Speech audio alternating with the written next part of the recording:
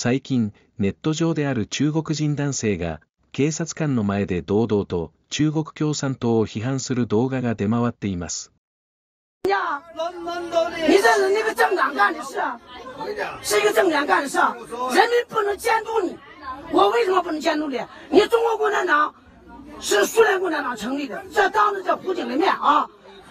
是，白了，你们就是汉奸集团。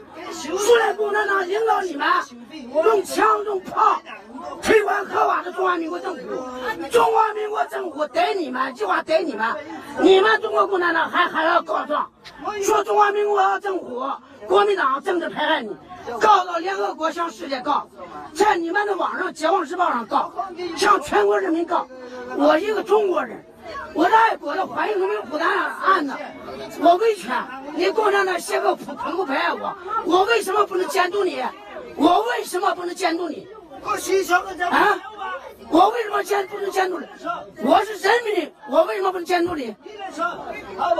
我为什么不能监督你？来，这个湖警，湖警零零六三的湖警啊，临川公安湖警零零六三的公安，我为什么不能监督你？我做人民。对呀，我为什么？他说我不能监督，反对共产党啊！我批评共产党，为什么不能批评？你说这我说的，你反对共产党，反对毛泽东。我反批评共产党，批评毛泽东，指出你们的缺点错误，你还要逮我？我为什么不能说？更可以制裁你啊！你制裁我来，我看你啥制裁我？我告了联合国的大量证据啊！我不把你制裁，几十万字告了联合国的，连联合国人家理事会都知道，你中国共产党对我的政治迫害，大量的控制，包括你们中国共产党，你，卖国史和杀人史，我有几十万字的控诉啊！在官媒上、媒媒体上，二零一六年都发表了啊！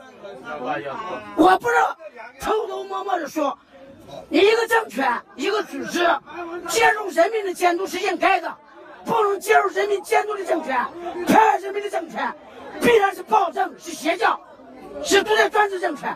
我为什么不能监督你？啊？我为什么不能监督？我就等着你们给我逮起来，让全世界看看你中国共产党的邪恶。それを見たのはいつの日だったろう 畏敬の念を抱くほどの壮麗さ。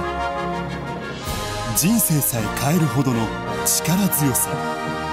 時が経つのも忘れるほどの美しさ。今再びその感動が訪れる。今年も演目を一新してあなたを待っています。シェンユン。